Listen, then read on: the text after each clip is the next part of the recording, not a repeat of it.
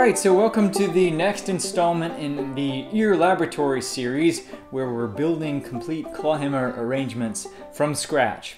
Um, so in this uh, video, I'm going to be taking us through the process of uh, building an arrangement for the song or the tune um, Old Molly Hare. And once again, um, these videos are an extension of the playing by uh, ear modules in the Breakthrough Banjo course. So if you haven't been through those yet, uh, modules uh, 1 through 4, the uh, 1 on finding the chords, then finding the melody, then 3 and 4 on creating clawhammer arrangements from that, um, it's recommended that you do so and then kind of use these in, as an extension uh, to further develop uh, your ability to learn and play by ear. So once again, we're going to be covering an arrangement for the song Old Molly Hare, which is a classic fiddle tune. And uh, I know I've said before that it's uh, a good idea when you're first starting this process of play, of learning and picking out tunes by ear to start with songs, uh, meaning uh, tunes with mel- with um, lyrics.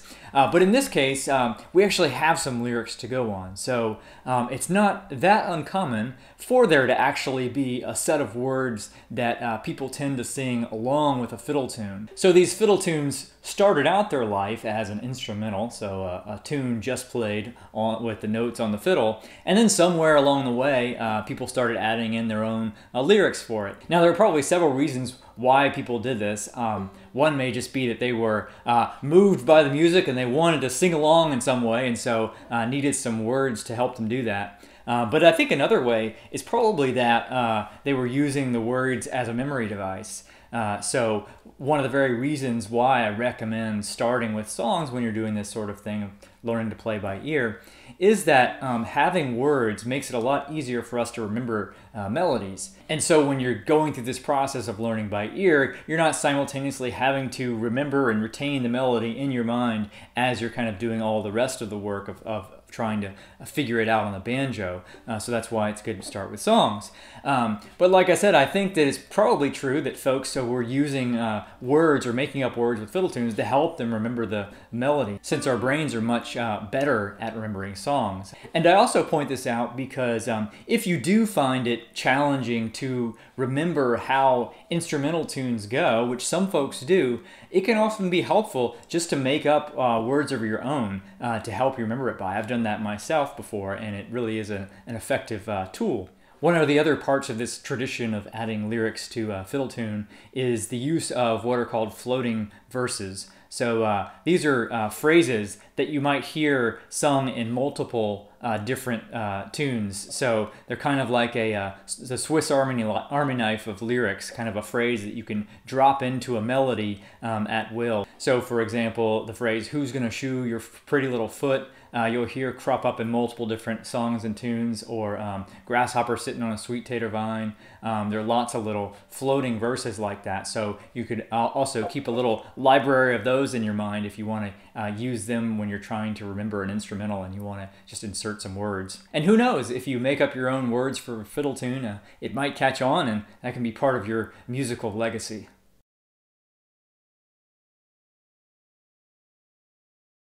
Now, I recently played Old Molly Hare as a, a tune of the week selection, and uh, in that uh, version, um, I played it a good bit slower than I probably would play it, or that you would hear it played uh, in a jam, so slower than a, than a fiddler would usually play it. And uh, I think it's a good idea to, to do that from time to time. Um, I find it helpful for multiple reasons um, to play a tune slow. So it's important to remember that uh, when you're playing on your own, uh, you have the freedom to play it as fast or as slow as you want. So don't feel like you have to be locked into the conventional tempo. Um, and there are several reasons why I think it's uh, beneficial to play through songs slow, even if that's not going to be the speed at which you perform it at. When you're uh, playing it through a tune slowly, um, it's a lot easier to hear the, the nuances and the, and the different uh, things you might add in uh, to the spaces in a tune uh, versus when you're playing it so fast it's whizzing by and your brain can hardly uh, process it. Um, there also may be technical elements that at a fast pace you wouldn't attempt or they'd be too uh, that would get your fingers too twisted up um, but that at a slower pace you can do and uh, you wouldn't be tempted to try that unless you slow them down also you may find that the uh, tune sounds uh, just as good, if not better, uh, slowed down. So uh, some songs uh, really take on a, a, different character when they're played slow versus uh, when they're played fast. So it's kind of like getting two tunes for the price of one. Um, the other thing I should mention is that you're free to choose the key you want to play it in. Uh, now, if you are playing a fiddle tune, um, it makes sense to make it so that you can adapt it in a jam situation. Uh, so, for example, I'm playing Old Molly Hare in the demonstration version and in this video um, out of double C tuning uh, because uh, I like getting that low C note. Um, but this is typically in a jam and as a fiddle tune known as a D tune, so you typically play it in the key of D. But all you have to do is capo up or tune up from double C to double D tuning in a jam to play it there.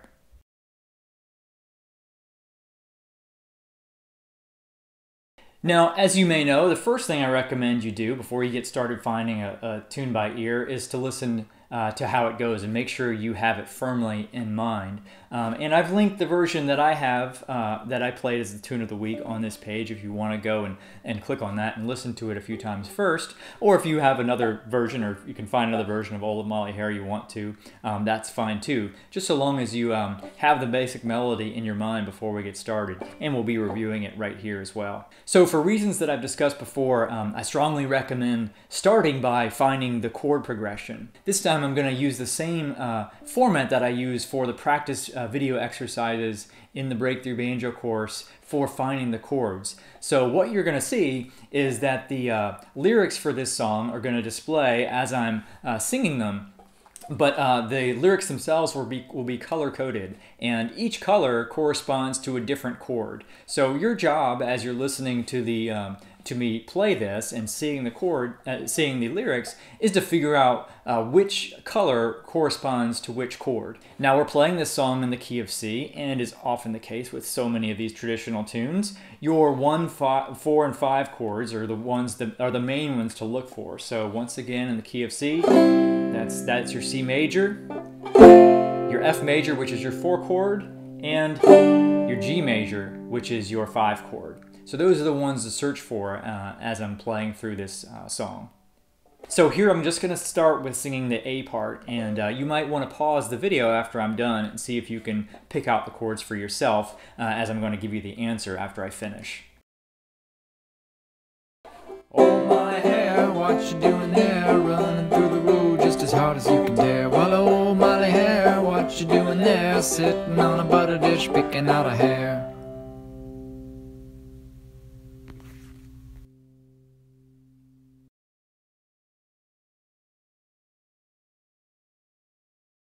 All right, so here are the chords for that A part, and like most songs, we're starting on the root chord, which is our C major. Oh my hair, switching to the F, what you doing there? Back to the C, running through the road, and to the G, just as hard as you can. Back to the C, tear. Once again, well, oh my hair, what you doing there?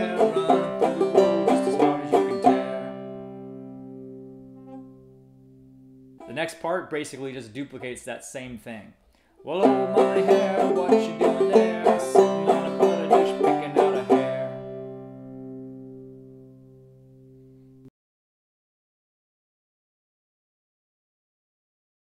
Okay, the next thing we're going to do is try to find the melody notes. Now here, I'm going to play just the melody notes, the words, that, the, the, the notes that I just sang on the banjo.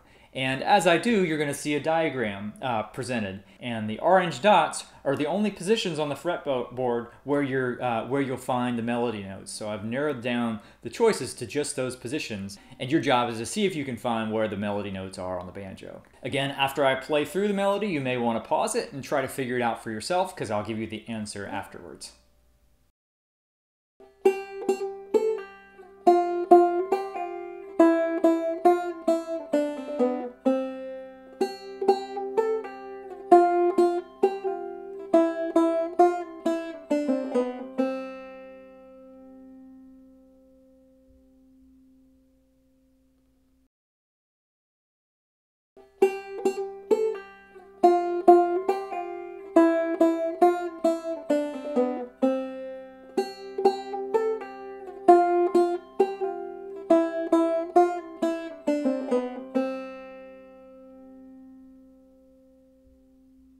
So again, that melody is basically just the same phrase repeated twice. Okay, now that we have the structural foundation for our A part, let's build a clawhammer arrangement for it. So if we take that first measure,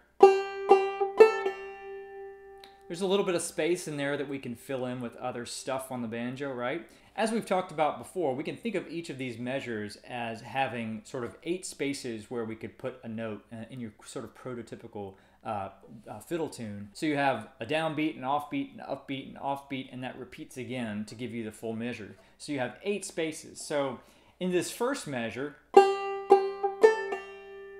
we filled up four of our spots, right? We have a note on our first downbeat, our first upbeat, our, our second downbeat, and the fir- and the offbeat that follows it.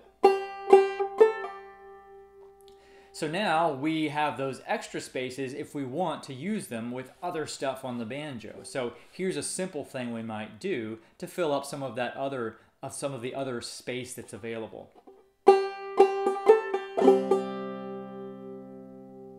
And with that first half of the measure, we've kind of created a bum diddy rhythm. With that second half, we filled up all of the spaces, so you might call that a bump a diddy rhythm. Bum diddy bump a diddy. Now in our second measure, we have the same exact melodic shape. Same structure, same notes are filled in. So we can do the exact same thing that we just did. Bum diddy bump a diddy. And then our third measure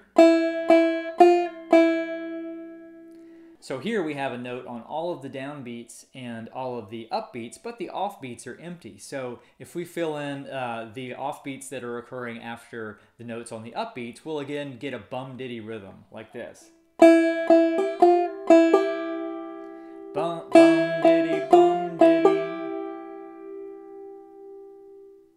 And our fourth measure uh, goes like this.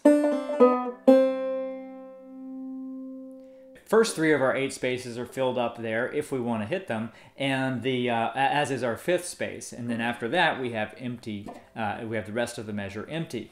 Um, so if we actually wanted to play all of those first three notes, we need to do something to grab this uh, open second string. So typically you do that with a drop thumb.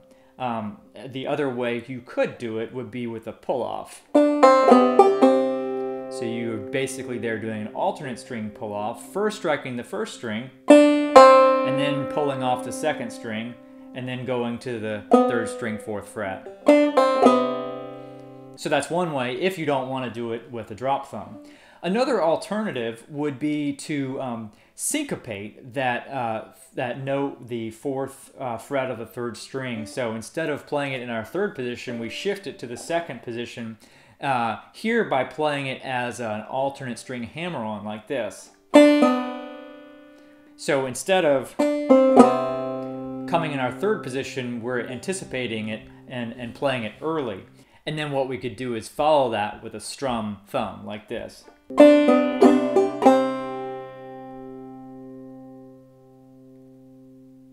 And note there that because we're on our G chord, um, I'm fretting this uh, second string at the second fret to, to make it sound har harmonious uh, with the chord of the moment.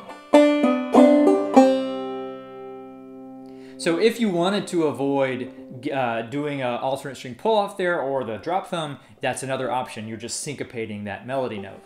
Another thing you could do to just keep it simple would be to just not include that second note at all. You don't have to play all the notes of the melody. In fact, that's one of the neat things about being a banjo player is that you're free to kind of do what you want. You can dance around the melody um, as long as you're keeping good time and good rhythm and uh, staying, staying within the harmonic structure. You have a bit more flexibility than a fiddle player would. So here's what we could do if we just drop that note altogether. And again, I'm filling that last uh, space, the seventh and eighth slots in our measure, with, uh, with, a bump, with a strum thumb. So now let's see what we've got with those first four measures.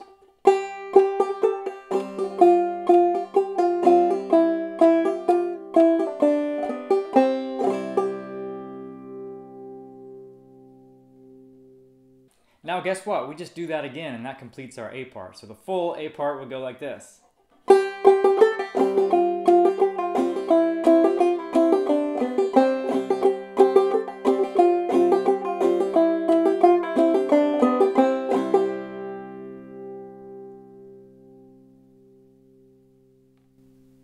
For our next version, let's just see if now we can uh, try to fill every available space uh, in our melodies. So again, we can think of each of these measures as sort of these recurring two beats, and within each beat we, beat we have four spaces. So we have kind of eight spaces in each measure we can fill. And if we fill all of those spaces, uh, then we create this bumpadiddy rhythm. Now remember too that um, in this structure, right, like I said, we have downbeat, the upbeats, and then the offbeats in between.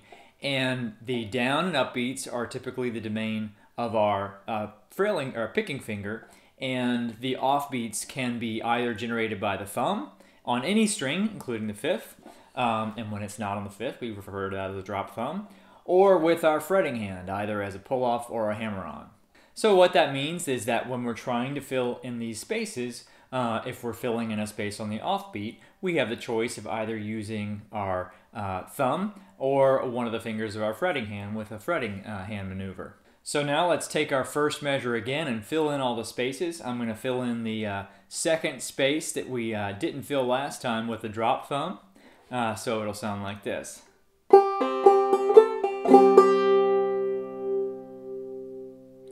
All right, now we can do that same exact thing, thing again, filling that second space with the drop thumb, like this.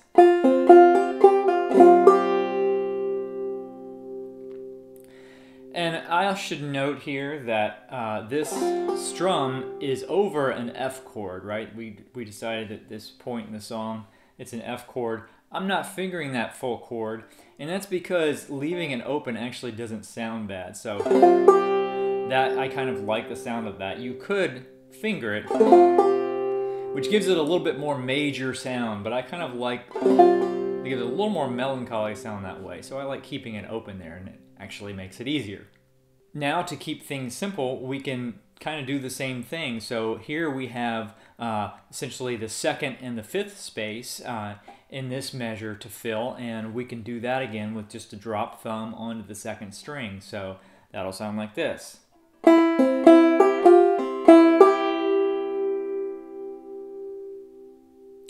All right, and then for our uh, last measure, uh, again, those first uh, three notes are spoken for as part of the melody, um, and then what we'll do is fill in that fifth note with a drop thumb uh, for the from on this string below, which is going to be the open third. So that'll sound like this.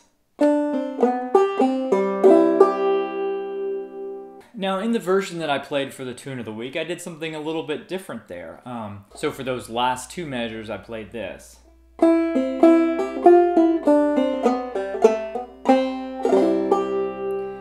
I filled in all the spaces, but the melody of that was a little bit different, and that's just a variation you might sometimes hear uh, people play with this song. And then once again, the uh, that part just repeats itself, so our entire uh, A part sounds like this.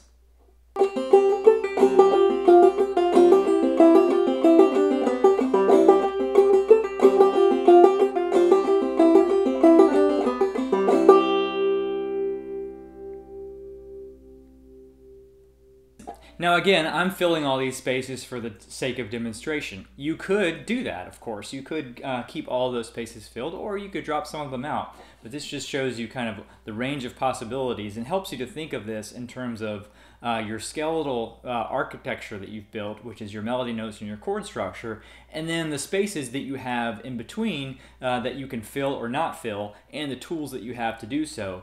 And the choices you make in doing all that is going to shape how, what your final version sounds like.